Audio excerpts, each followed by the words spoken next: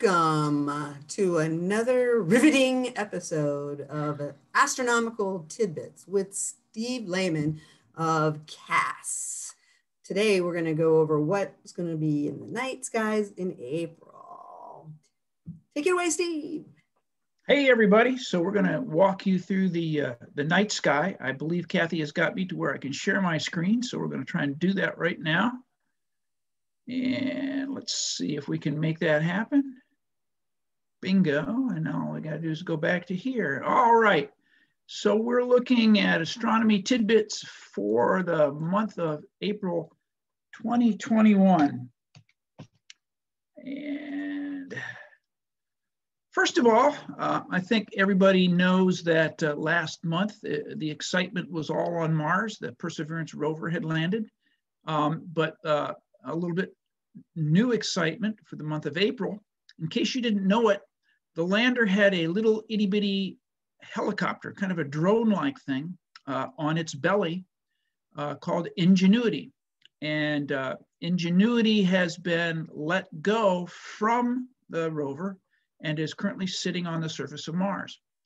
And they're planning on trying to fly it around on Mars on April 11th. So I've got a link here that will uh, take you to a little bit of a preview of that. And also um, you can also uh, find a, a link that will take you to the, the actual uh, in-person event on April 11th that they choose to have it. The very cool thing about this is the, the uh, uh, Mars atmosphere is much thinner than what we have on Earth. And so to get the, uh, the little helicopter to fly, they've actually had to, to hook up a, a really cool double rotor system. And so uh, the, the video will tell you a lot about that. Perseverance has taken up quite a bit of news lately, but Curiosity is still working away. And there are some Curiosity mission updates. So you can click on that link to find out what Curiosity is doing, uh, a little bit distant from where uh, Perseverance is. And Perseverance has already uh, been taking lots of great images. Um, you can actually hear the, the Martian atmosphere, the wind on Mars, because there's a, a microscope, or not a microscope, a microphone so uh, just all sorts of cool things happening on uh, the, the, the, planet Mars. So hope you'll, you'll take a look at that. Uh, night sky events for April. Um, Jupiter and Saturn are up in the pre-dawn sky. So if you're up doing your morning run at, at five, six in the morning, you're gonna see uh, Jupiter and Saturn um, up in the east. Um, on the night of April 17th, the moon and Mars are gonna be in close proximity um, in the southwestern sky. The Lyrid meteor shower peaks on April 21st, 22nd. Um, that means that, that the shower radiates from Lyra the HARP, which is in the eastern sky uh, during the month of April. And the moon's going to be a little bit past first quarter, um, so it still should be a, a good night for seeing some uh, some meteors if the, uh, the, the night sky cooperates and it's not cloudy or raining. Best time to to uh, watch meteors are are uh, after midnight, and uh, best way to do it is uh, get yourself a lawn chair, a cup of coffee or cocoa, a blanket, and lay down and stare up toward the east so that uh, you're looking at what we call the radiant or the spot in the sky where the, the meteors will be coming from. And that's going to be toward uh, or from Lyra the HARP. SpaceX, uh, the, the, uh, the worker bee of, of space companies these days, is going to launch the Crew 2 mission to the International Space Station on April 22nd. When I checked this morning, the uh, liftoff time was scheduled for 6:11 uh, a.m. That could change, so uh, you might want to go to the SpaceX um, website uh, maybe a day before just to, to check the link. And uh, the morning of, you usually have the option of uh, watching the launches from either the SpaceX website or the, the NASA website. Uh, the full moon in um, April is what we call the pink moon. And because the moon is going to be uh, in its orbit around the Earth uh, at its closest approach or perigee, it means that this is going to be a supermoon. It's going to seem a little bit larger, a few percent larger, pardon me, than what it might normally be. There are two of these supermoons this year, one in April and also one in May. So the night of the, uh, the full moon is April 26th.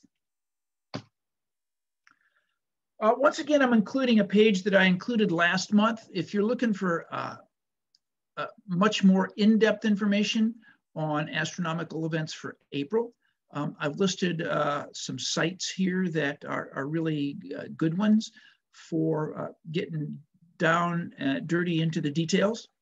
And also the, the third link here, what's up in April? That's that little two to three minute video that NASA puts out every month. Um, this month, they talk a little bit about um, what is happening uh, in the uh, in the southern sky uh, as far as uh, observing uh, the constellation Leo, and they also talk about a an, an interesting atmospheric um, event called an arch that happens uh, on, on, clear evenings and clear mornings, and, and that's kind of fun to find out about. So check out what's up in April. So um, what I wanted to do was was kind of take a, a, quick look at what's happening in the night sky. Remember that that we uh, uh, watch the night sky mostly as we look toward the south. Um, we look toward the e ecliptic, which is the the line. If you could draw the uh, the equator of the Earth out into space, and so the east, the south, and the west is where most of the cool stuff is happening. So this is the eastern sky, uh, right about 9 p.m. on the, the 15th of the month. And you can see that, that uh, we've got some of our, our important uh, spring and, and getting into early uh, summer uh, constellations up. Hercules right here, Boötes, uh, Virgo, the Virgin, and Coma Berenices. A couple of things about each of the each of these. In Hercules, uh, this little uh, kind of cross-haired yellow uh, uh, marking tells us that there's a globular cluster there under his armpit. That means that uh, we're looking at a large ball of stars, perhaps uh, hundreds to, to thousands of stars in, in a very close proximity. That can be seen usually from a, a very small telescope. we've got another globular cluster up here. And uh, that's kind of, oops, all the, the things that we, we've got in that portion of the sky. Other than Boötes is, is kind of one of those constellations it's fun to look like. I, I kind of think of it as, a, as an ice cream cone, uh, kind of hanging out to the left there. Um, if you've got a really large telescope, six inches or larger, um, the area around Coma Berenices or the, the comb um, is in, in this area right here, an area of lots and lots of galaxies. And um, if you're in a, in a, dark spot, and again with a, a, telescope with a, with a large mirror or lens, you're gonna have the opportunity to see lots of, of what might look like circular splotches in this area. Each of those is a galaxy similar to the Milky Way galaxy in which we live. Looking at the southern sky, uh, we've got uh, Leo the lion. This is probably the most prominent of the constellations in the spring. Um, in Leo, we've got a, a, a large, bright uh, star here, the, the heart of the lion. Oop, let me get back. Um, in this particular area, um, there is a group of galaxies. So again, if you've got a, uh, ah, gotta quit doing that. Um, if you've got a telescope with a large lens or mirror focusing in through here, um, you can see a, a, number of galaxies. There's a, a, famous grouping called the Leo triplet in this general area. Also, one, one of the uh, objects that's, that's uh, kind of fun to look at using binoculars is the beehive cluster. And this is in uh, Cancer the crab right here. So uh, Cancer kind of leads to Leo and right near the, the cross of the X is this uh, open cluster called the beehive. I don't quite see a, a, a, beehive in there, but some of my astronomer friends say, oh yeah, there's a beehive, beehive there with lots of, with uh, lots of bees flying around. But it is a, a great open cluster to look at.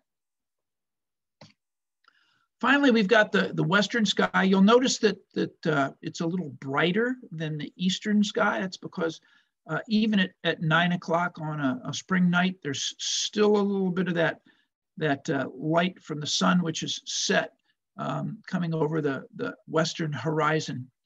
Lots more uh, objects to find in binoculars and small telescopes. Again, each of these little circular yellow patterns is a, a star cluster. Uh, these green squares are uh, nebulae. And so uh, lots of lots of those kinds of things in basically what is still the, the winter uh, sky getting ready to set. You can still see Orion, although instead of his bow pointing out straight, his bow is pointing uh, down towards the horizon. Gemini, the twins, which earlier in the winter seemed to always appear kind of to the left of Orion and, and kind of a little above, are now directly above Orion.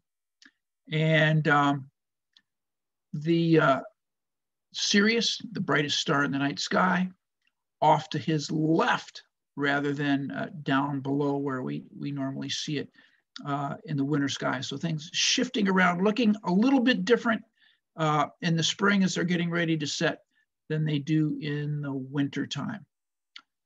So that takes us through uh, the month of April.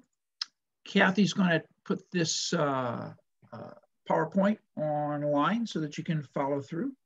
Um, I'm hoping that uh, those of you that have signed up for our uh, observing event this coming Friday, that the weather will hold for us. If not, we're, we're looking at an alternate date. We'll make sure to, to let you know about that if we, if we need to change things. As always, if you've got questions, uh, you can shoot them to Kathie. Kathie knows how to get in touch with me.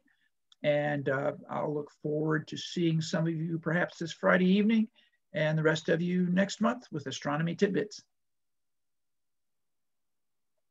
And I have to make Kathie the, uh,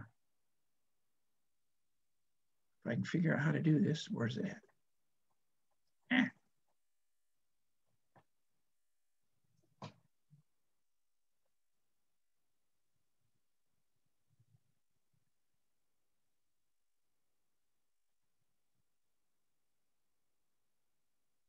Can you hear me?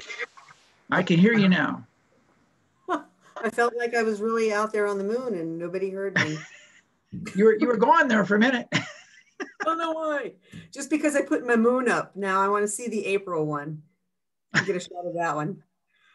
So uh, excellent. That was wonderful. There's lots of great um, activities that are going to be happening in April. I look forward to seeing some clear skies, including yes. this Fingers crossed. All right. Thanks, Steve. I appreciate it. All right. Thank you. Talk to you later.